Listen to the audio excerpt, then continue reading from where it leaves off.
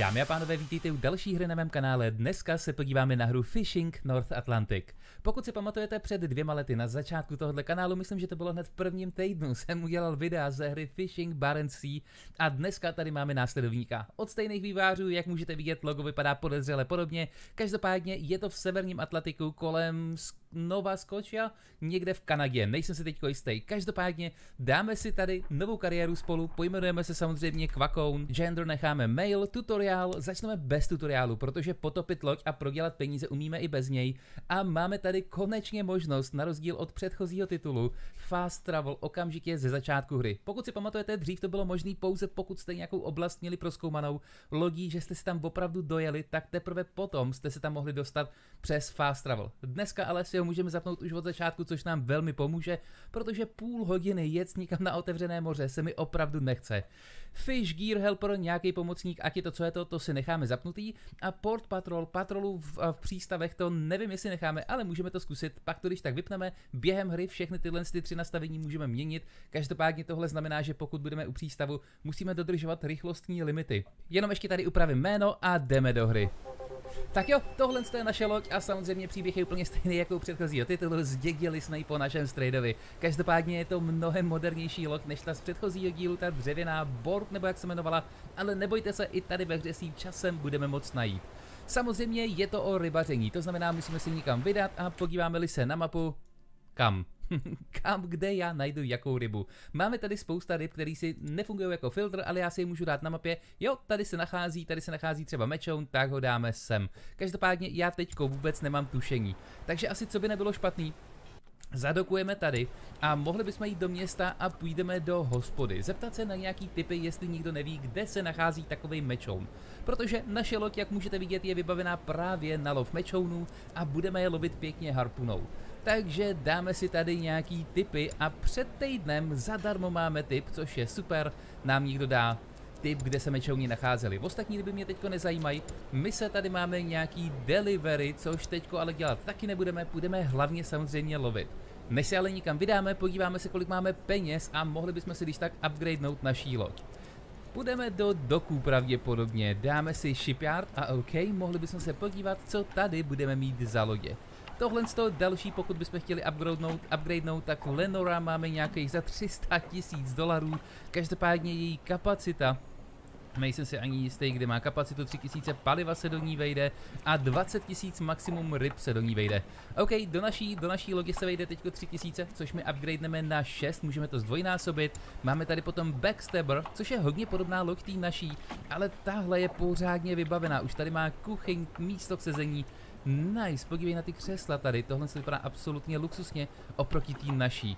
Každopádně OK, 375 tisíc taky nemám, 6 milionů taky ne a 12 milionů, tohle to už je pořádná loď.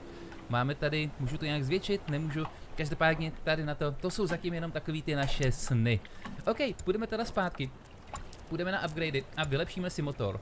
Máme tady několik typů, dvojkový, trojkový a čtyřkový, nestakují se na sebe, nebo pokud se nepletu, neměli by stakovat na sebe, to znamená nemá cenu jít na menší a zvětšovat to, jdeme rovnou na ten největší, 4020 koní nám to přidá, máme v základní, v základní lodi máme 150, co budeme dál potřebovat, tak je samozřejmě storage a to si dáme na max rovnou. Proč ne, za 15 tisíc jasně půjdeme do toho. Radar by taky nebyl špatný, protože ten nám umožní samozřejmě objevovat okolí věci jako třeba nový lodě, protože v téhle hře objevíte nový lodě nejen tam tím, že přijedete do přístavu, kde každý přístav prodává určitý lodě, ale zároveň, že budete jezdit po oceánu a podél pobřeží budeme nacházet někde zaparkované lodě, které pak budou k mání v obchodech. Takže tenhle radar si teďko určitě vezmeme. Autopilota bez toho vážení ani ránu. To mi nastaví, to mi umožní, abych si na mapě nastavil kurz, kam chci jet a ono to pojede za mě a bude to udržovat rychlost, jako já chci, aby to udržovalo. 27 tisíc, fishing quota, máme tu samozřejmě limit, aby jsme, aby jsme nevyplenili celý oceány a neulovili všech, všech veškerý druh tady určitý ryby, tak máme tady určitý kvóty a můžeme si to potom zvětšovat, což teď zatím opravdu není náš problém, hlavně ne s touhle rybou, lodí a máme tady lepší sonary, na který už nemáme prachy. OK, tohle, to, no, hloubky, že bychom viděli do hloubky, to stejně ani nepotřebujeme, protože teďko mečou nevážení budeme lovit jenom ty, kteří plujou na hladině oceánu a harpunou je budeme chytat. Boje můžeme koupit. OK, to akorát, kdybychom měli sítě pravděpodobně a aby jsme tam měli lepší boje, což nepotřebujeme. A Searchlight to teďko asi taky nepotřebuju. Nebudeme teďko lovit v noci, pojedeme pěkně ve dne. Tak jo, 27 tisíc, všechny peníze jsme utratili, loď je teda vylepšená. No a teďko vážení, můžeme se vydat ven. Takže jdeme zpátky a na loď. Samozřejmě můžeme se přepínat mezi ohledem z třetí osoby a první osoby a jak už je, jak už je zvykem v této hře, můžeme vylézt a pohybovat se volně po lodi. Každopádně tady odsud budeme samozřejmě ovládat naší loď, můžeme se podívat sem, odkud budeme harpunou potom lovit mečouny, na což si chvíli počkáme. Jdeme zpátky a můžeme samozřejmě jít sem ven, kde potom, až budeme lovit ryby s pomocí sítí, tak tady všechno budeme dělat, budeme je vykuch vykuchávat a tak podobně. Každopádně naše loď je teď nastavená právě na tu harpunu, takže nic takového dělat nebudem. No a samozřejmě můžeme se podívat ještě nahoru, odkud tu loď taky můžeme ovládat, ale tady to houpe jako blázen a asi by se mi blbě udělalo blbě. Brzo udělalo blbě. A pěkná tahle stalo, to město okolo, vypadá to všechno moc hezky vážení. Každopádně, OK, OK, OK, OK, jdeme zpátky dolů, budeme to řídit krásně z pohodlí vevnitř. Nastartujeme loďku. Tady máme našeho autopilota, který teď můžeme nastavit. A já se chci vrátit do doku, protože já chci přeskočit čas. Teď, jak můžete vidět, máme, máme vítr 14,6 uzlů, což způsobuje tyhle ty velké vlny. No a s touhle lodí se mi nechce Oj, cože? Limit? Jsme, je porušu limit? OK, zadokujem. Každopádně s touhle s tou lodí se mi opravdu vážení nechce v tomhle tom plout. Když se podíváme na počasí, jak to teda bude vypadat, zítra by se to mělo uklidnit 7,6, 7,6, pak 15, 13, 5,9 a OK, OK. Zítra bychom měli mít dobrou příležitost, aby jsme šli lovit. To znamená vážení, že přeskočíme čas a mohli bychom vyrazit třeba někdy v 6 ráno, takže skipneme Máme ještě pořádnou tmu, ale to by nemuselo vadit, protože než nikam dojedeme, tak se rozední a už se krásně rozednívá zpátky do naší lodi. Můžeme samozřejmě zapnout světle nějaký. Takhle, vevnitř světla, ok, ty stíny jsou docela divoký. Ale každopádně, ok, vypneme je, nepotřebujeme. Searchlight tady máme, který teďko nepotřebujeme, pěkná ta voda, jak je modrá jaká by měla být. No a vyrazíme asi na naší cestu. Takže jo, podíváme se vážení, kam se budeme muset dostat. A co já vím, tak ty mečovní říkali teda tady, že byli před týdnem, ale což vůbec neznamená, že by tam mohli být i dneska. To znamená, při nejhorším bychom když tak mohli zajet tady do přístavu, zjistit, jestli tam nemají nějaký typy. Samozřejmě budeme spotřebovávat palivo, který budeme muset dotankovat a tak podobně. 3000 na kontě, nic moc, radši bychom nějaký ty ryby měli teďko ulovit.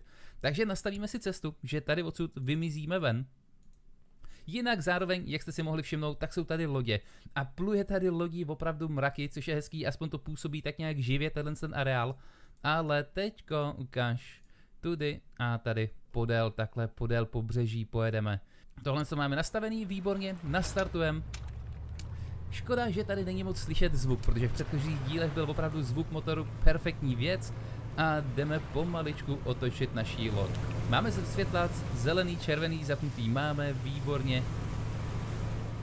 A můžeme tady odsud pomaličku zmizet. Tak jo, oh, 300, 300 pokuty, na to jsem malinko zapomněl, tohle vážení nebudeme dělat, tohle tady nejde, patrolu vypneme, víceméně jediný, co to dělá tahle věc. Videomod? Oh, ok, ok, confirm, jasně. A jediný, co to dělá, takže mi to dává pokuty, když jedu rychlejší než 6 uzlů za hodinu a to bychom se tady odsud nikam nedostali. Každopádně nic nevidím na tohle černém černém moři, ale co by se teď mohli udělat, tak zaktivujeme akorát, zaktivujeme autopilota a nastavíme teda rychlost. 6 bych jí mohl nechat, ale to by bylo opravdu pomalu, dáme ji takhle pěkně na 15 a projedeme tady pomaličku okolí. Počkej, ukáž, vylezeme, stop driving, myslím, že autopilot se nám postará o tu loď o jízdu automaticky, pokud je nastavená trasa na mapě a můžeme se ji tady pokochat. Nice. Vypadá to velmi pěkně, to se mi hodně líbí. OK, OK, OK. Jdeme zpátky, tyhle ty světla máme zapnutý, můžeme je vypnout, jasně. Tady venku dá se to ovládat nějaké světla? Asi ne, pravděpodobně, jenom zevnitř, takže jdeme sem. A co tady máme za světla? Pravděpodobně tyhle ty to byly, jasný. Tak, vypneme je a můžeme se kochat vážení. Romantická výška s harpunou a východem slunce. Díky tomu, že máme samozřejmě povolený teďko fast travel, tak ho můžeme zapnout. A tady jsme něco objevili, OK, to je fajn, tam se potom vrhneme. Tady taky nádhera. Musíme ale, musíme tam opravdu zastavit a zajet, aby jsme objevili, aby jsme objevili ty lodě, co tam jsou. Na, takhle na mapě to nestačí. Tady ale dorazili jsme na naší lokaci. Já myslím, že jako první asi vážení vylezeme ven, máme to vypnutý tah, máme výborně a nic nevidím. Nevidím ani jednoho mečouna. Tam máme nějaký, nějakou pevninu, fajn. Měli bychom vidět ploutve tady, na hladině by měli plout. Pěkný tahle ty elektrárny. OK, vážení, tohle to nechte. Musíme najít, jinak budeme za chvilku bez peněz. A sotva jsme začali, budeme, budeme mít tady game over. Tak ať koukám, jak koukám, nevidím tady ani jednu rybu. Máme docela problém. Vezmeme teda loď do svých vlastních rukou a pojedeme se projet a proskoumáme malinko tenhle areál. Takže pojedeme možná rovně takhle podél pobřeží, to bychom mohli. Podíváme se, kde tady je nějaký přístav, tadyhle, tam bychom teda mohli určitě zajet. Tamhle někde teda bude pravděpodobně. OK, tamhle možná nějaký ten maják, kostel nebo něco vedle těch větrných elektráren. A víte co, asi bychom to tam mohli pomaličku stočit. je boží, jak on stojí nahoře opravdu a ovládá tu loď. No a budeme mezi tím cestou koukat tady. Já dám asi plný táh rovnou. A plujeme rovnou tam, zeptat se na nějaký typy, i kdybych je měl koupit vážení. A pokud bych mohl koupit nějaký typy, kde jo, včera jsem tam viděl mečouny a plujou tam na hladině.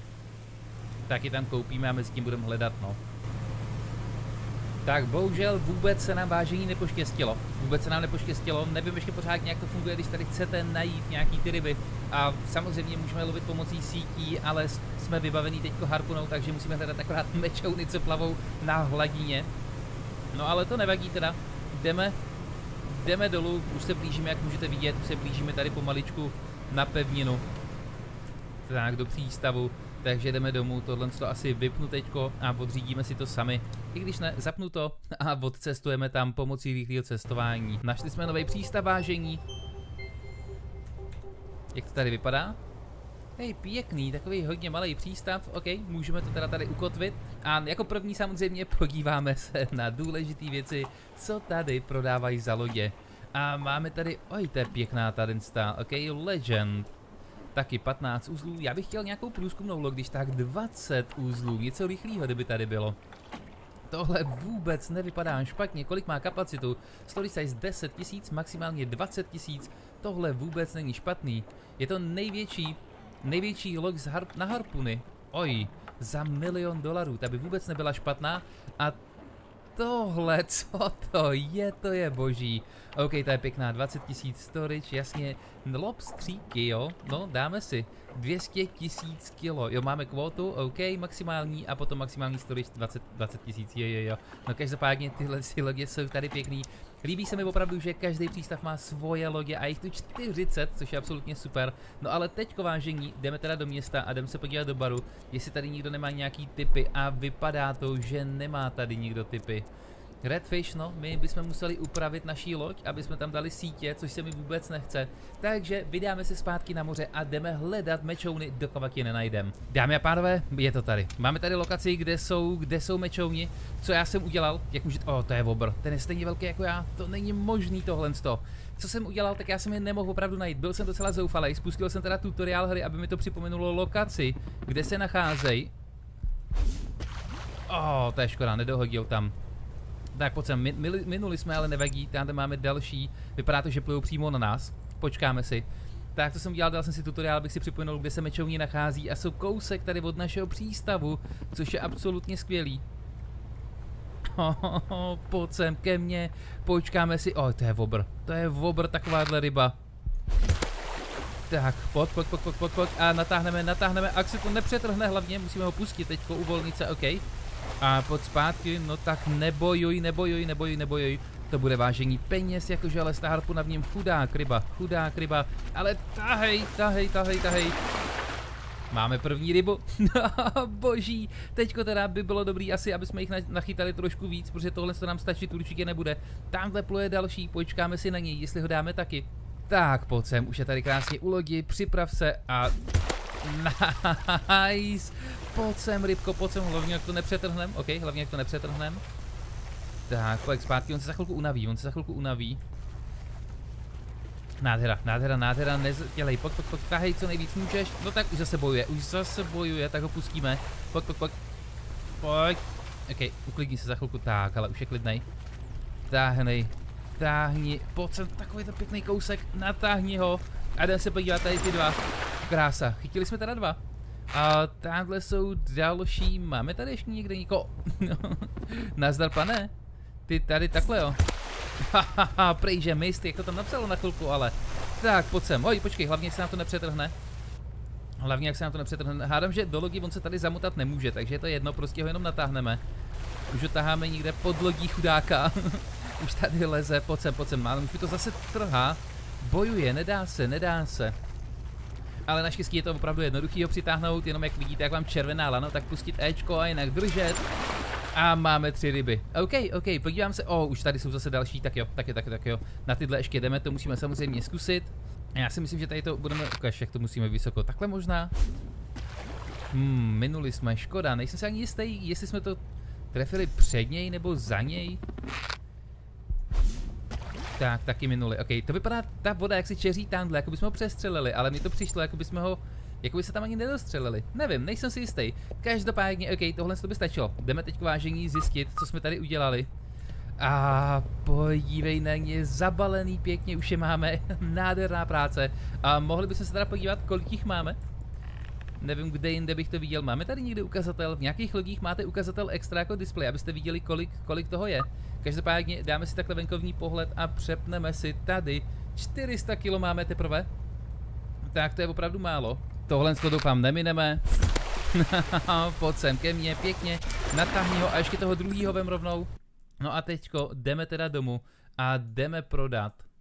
Jdeme prodat všechno, co můžeme. Vlastně asi můžu dát rovnou fast travel, aby mě to tam krásně hodilo. A vítejte zpátky doma. Koukám, že tady v přístavu je zrovna tahle velká loď, která tady jezdí jako vstekla.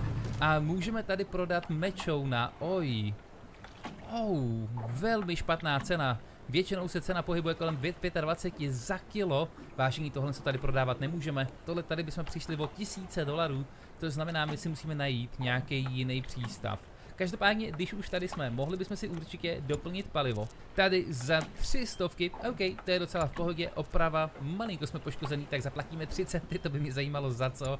A můžeme změnit tady jméno, jak je to přesto lano, kdo to kreslil, to jste si ho nemohli dát na stranu, kdo to lakoval, nebo tak nějak, to je jedno, přejmenovat. A teď jdeme do města, do baru, jestli ta náhodou nikdo nemá typy a pořád zatím nic, ale tady, tady je zadarmo typ, takže berem a tohle se za tisícovku nechci tu nějaký vážení lovit nebudu. Takže vezmeme naší loď vážení a pojedeme do přístavu, který jsem si taky objevil, bude to teda trvat 20 minut, což je super. Nádhera, to rychlé cestování absolutně super. A podíváme se, podívej na ten rozdíl v té ceně.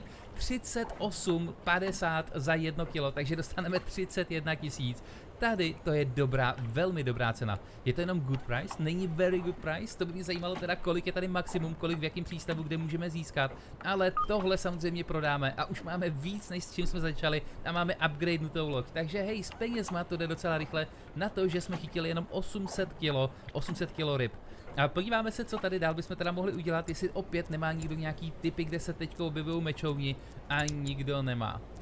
Vážení, pravděpodobně vypadá to, zkontrolujeme asi počasí, dneska večer už nikam nepojedeme, protože je to šíleně unavující a vypadá to, že zítra bude pěkný počasí, stejně jako dneska slabý vítr 7,6 uzlů, takže počkáme do zítra a vyrazíme zítra na moře a mohli bychom vyrazit na tu původní lokaci, kterou jsme zkoušeli. Takže jo, klasika, máme 6 hodin ráno, východ slunce, než se nikam dostaneme, tak já myslím, že krásně se rozední, to znamená, naplánujeme si tady cestu a pojedeme opět na tuhle původní lokaci a pokusíme teďko štěstí, jestli tady něco něco nebude. A řeknu vám teda po Mečounovi ani památka. Týden stará zpráva pravděpodobně je opravdu hodně stará už a nic tady není maximálně pod hladinou pomocí sítí, ale tady není vůbec nic. Každopádně tohle z toho by vážení určitě stačilo pro tuhle epizodu. Doufám, že se vám líbila. Nezapomeňte úterý, čtvrtek a neděle od 6 hodin večer pravidelně streamuji na Twitchi. Odkaz dole pod videem. A zároveň, než to ukončím, chtěl bych poděkovat všem kachňákům za jejich podporu. Chtěl bych poděkovat pečeným kachňákům a samozřejmě i vypečeném kachňákovi Janu Mertlikovi. No a pro vás, co to je? Oh, my můžeme skipnout time? To jsem ani nevěděl, na lodi, výborně. Každopádně pro všechny ostatní, pokud se vám líbí videa na tomto kanále a chtěl byste tento kanál podpořit, stačí zajít dolů pod video, kliknout na tlačítko připojit se a tam si můžete vybrat jednu ze tří možností. Tak jo, díky za váš čas, mějte se fajn a čau!